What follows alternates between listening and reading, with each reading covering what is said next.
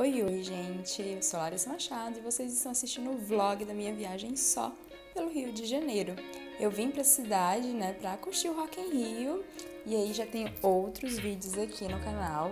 É só vocês procurarem aqui embaixo nos cards. E hoje, domingão, estou indo conhecer o Parque Henrique Lage, mais conhecido como Parque Lage, que fica aos pés do Morro Corcovado. Em 1957, ele foi tombado pelo IFAM como um patrimônio histórico e cultural da cidade do Rio. E pelas fotos ele é belíssimo. E essa é a minha terceira vez no Rio de Janeiro e eu ainda não conheço o parque. Então dessa vez eu não quero perder essa oportunidade, né, de conhecer o lugar.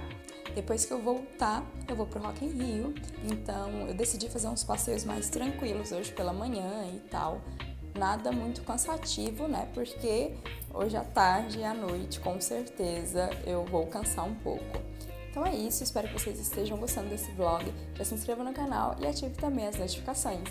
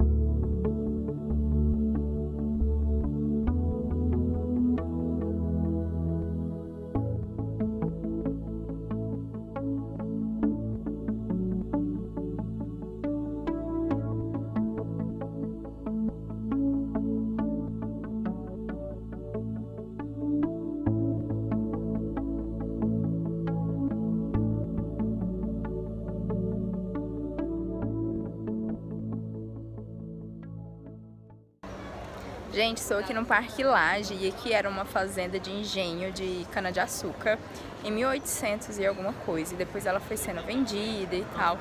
E aí fizeram esse palácio que é lindo, lindo, lindo, lindo. E aí a entrada é gratuita. Para você subir aqui no terraço onde eu estou, é só você adquirir alguma coisa da banca de escola de artes aqui do Parque Laje.